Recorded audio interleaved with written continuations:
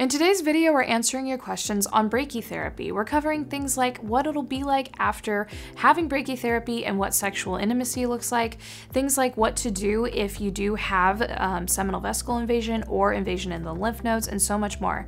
We have a previous presentation from Dr. Ankit Agarwal and Dr. Steve Kurtzman. They did a presentation for us back in September of 2023. It's very thorough and it goes through how brachytherapy is done both in low dose and high dose seed rates. I would encourage you to watch it and we'll go ahead and link that in the description of this video and in the comment section.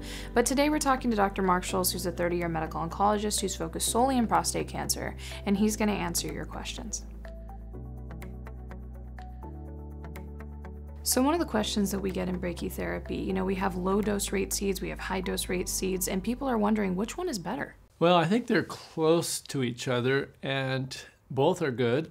Uh, so we've always emphasized the quality of the implanter is certainly a far greater issue than the selection of the implant.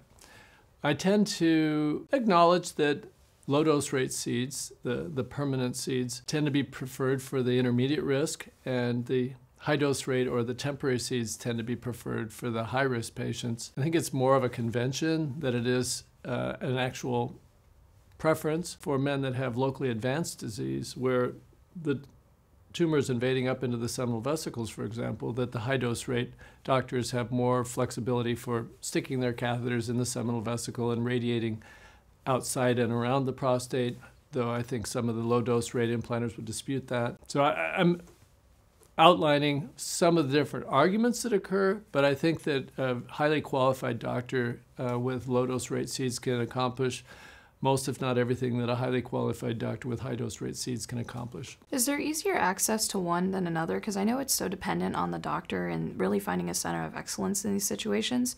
So, is there more people doing high dose versus low dose? Low dose rate has been far more popular uh, throughout uh, the history, and this is over a 30 year history now. I think the entry level financially is much easier. High dose rate, you have seeds that are um, burning 24 hours a day and they have to be replaced. If a center doesn't have a large volume to utilize these seeds, then they're being wasted. Uh, low dose rate seeds are ordered for each patient individually and uh, they don't need the computerized equipment for the delivery process that uh, high dose rate seeds need. I think uh, those are one of the reasons that low dose rate seeds are more popular. I, I, think that the process of getting the seed implants is simpler for people with low dose rate seeds, which is a much shorter uh, outpatient procedure.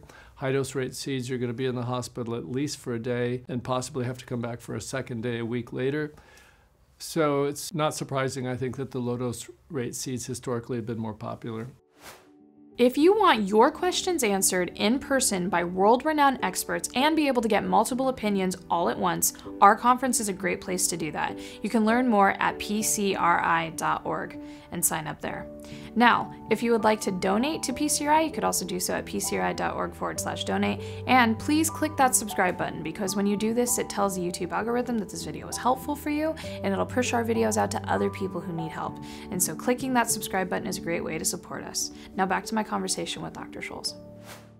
So when it comes to side effects, are there more side effects with high dose? When we think about high dose versus low dose, you hear the word high, so you'd think there's more radiation, it's maybe a larger field, and would there be more side effects and more opportunity for it to hit healthy tissue? The answer to that is an unequivocal no. I think that the Side effects are dependent on the skill and the quality of the implanter, to a small degree, perhaps upon the biological makeup of the patient and then the size of the prostate and the size of the tumor, uh, so larger areas that need to be radiated, are going to put people at a little higher risk of side effects. So one of the questions that we got is, are these seeds metal? And if so, is it okay to have, you know, MRIs and CT scans after? Will it affect any scanning and imaging that is done? One of the attractive things about high dose rate seeds is they don't leave any radiation or seeds in your body after the treatment is completed. Everything's been removed. Patients who have permanent seeds, uh, which are implanted in the prostate. I have not heard of them becoming in any way a difficulty for MRIs. We do MRIs all the time after permanent seeds, and it's never been an issue. What type of seeds do they use, and are there better seeds, you know, than others? Do you need to make sure you have a certain type of manufacturer to get the best outcome? So for permanent seeds, they have iodine, palladium, and cesium seeds. And the difference between these seeds is how long they burn after they're implanted. Iodine burned the longest, and those were the original seeds that were used at the uh, inception of seed implant therapy close to 30 years ago. Palladium seeds came along next, and cesium seeds, which burned the fastest, uh, were the ones uh, that came out on the market more recently. I don't see a big difference between these different products. It's the familiarity of the doctor with the seed implant and uh, how to utilize these different uh, time periods a high, shorter, more intense period with cesium, longer, lower dose exposure with the iodine seeds and the palladium in between. And uh, doctors who are doing seed implants typically use just one of these isotopes to be familiar and expert in using that particular isotope. I don't uh, select doctors on the basis of what isotope they use. I select doctors on the basis of their outcomes. So this next person was wondering, is brachytherapy really the best way to preserve, you know, function when it comes to urinary function? Because they're really concerned about that specifically. They want to protect the urethra, and they're going, is low dose better? Is high dose better? Is this really the best radiation for me because of that wanting to protect that area? I think their concern is uh, very appropriate in that aside from the side effects of erectile dysfunction, which are a real problem with any kind of radiation, the next level of concern is uh, damage to the urethra and long term urinary side effects. The third issue that used to be a bigger issue was uh, damage to the rectal wall, which is right next to the prostate, leading to long term proctitis or inflammation of the rectal wall. That's been mostly circumvented with these uh, gel implants. Urethral issues, especially the lingering ones, which are a major concern with any type of radiation, are dependent on the skill of the implanter and also the biology of the patient. Some patients, a small percentage apparently, are more predisposed to poor recovery of, uh, from the radiation exposure and, and lingering long-term discomfort, urinary frequency, pretty much the, the, the one issue, the long-term issue, apart from erectile dysfunction that we are concerned about. But I can't point to uh, one type of radiation that is less likely to create problems. It's more an issue of the skill of the doctor in modulating the amount of exposure that the urethra will experience uh, in that unique individual. This is a skill, and uh, the doctors who are doing these implants are highly aware of the urethra where it's located, and uh, what kind of exposure will be tolerable. So, you mentioned the genetic makeup of a patient and whether or not they would experience more side effects or less side effects. We see that Prostox is on the market for radiation side effects. Is that also covered within brachytherapy? Unfortunately, not. So, the MiraDx company, which has come up with these genetic assays to determine who's going to do better with short term beam irradiation or long term beam irradiation, haven't been compiled yet for brachytherapy. So, this was a discussion that I saw in the comment section. There was a patient who posted that he wasn't expecting to lose his ability to orgasm with having brachytherapy.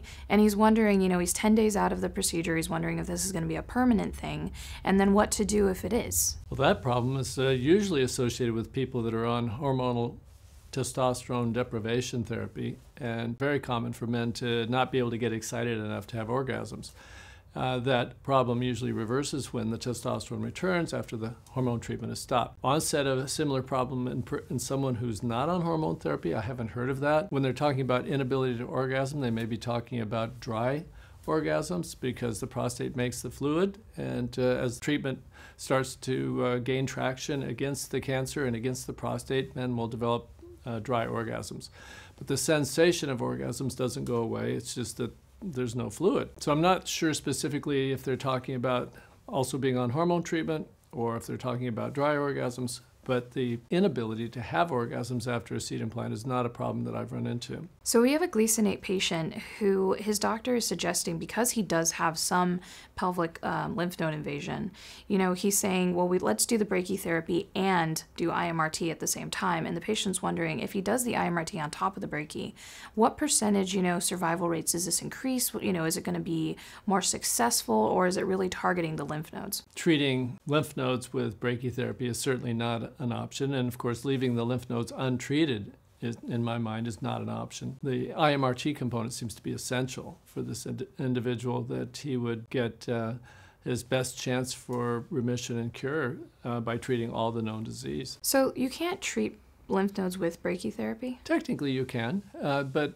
the idea with uh, any kind of lymph node disease is that what is being detected on the scans may only be the tip of the iceberg. There may be other microscopic areas. And so the policy is typically to treat that whole field of lymph nodes, not just that lymph node. You're not going to be able to treat a field of lymph nodes with brachytherapy, though you could treat an individual lymph node with high dose rate brachytherapy. That would be unorthodox. I've seen it done, but it's way down the list in terms of uh, what's likely to be done for lymph node disease. What is the most common side effect that you see as a medical oncologist seeing patients after brachytherapy? Number one concern is erectile dysfunction. Uh, so if you say take a 60 year old healthy male who's not taking any Viagra, the onset of severe erectile dysfunction uh, that doesn't respond to Viagra is about one in three men uh, in the ensuing two years.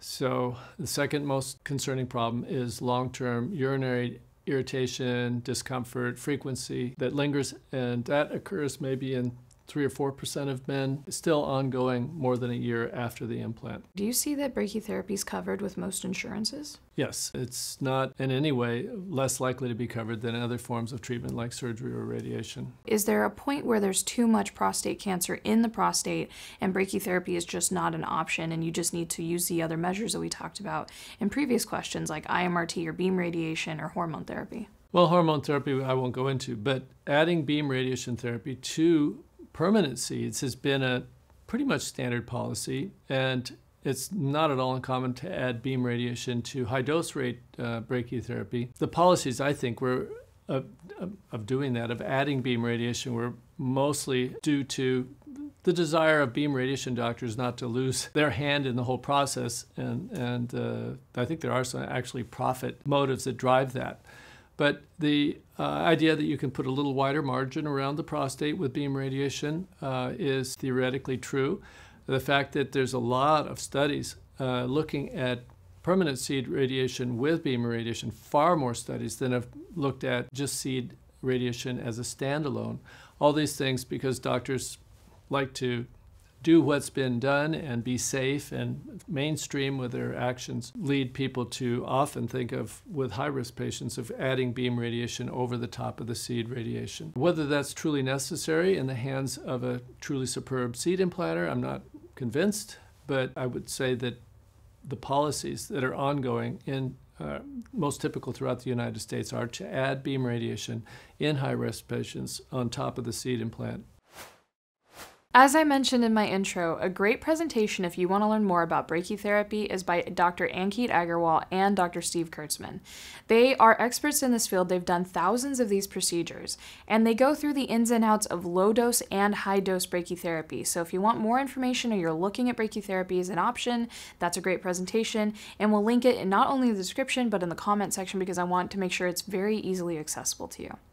Now, thank you so much for leaving your comments and your questions. This is the way that we develop a lot of our content. So if you have more questions or comments or things that you just want clarity on and you would like Dr. Scholz to answer, you can go ahead and leave them in the comment section below this video or on any of our other videos. We really appreciate it. Now, in any situation, whether it's brachytherapy or any other forms of radiation, hormone therapy, quality of life is so important. So, if you're going to these doctor's appointments and you're talking about treatments like brachytherapy, bring up your concerns ahead of time. Ask them and say, I want to preserve my quality of life. I want to preserve my sexuality.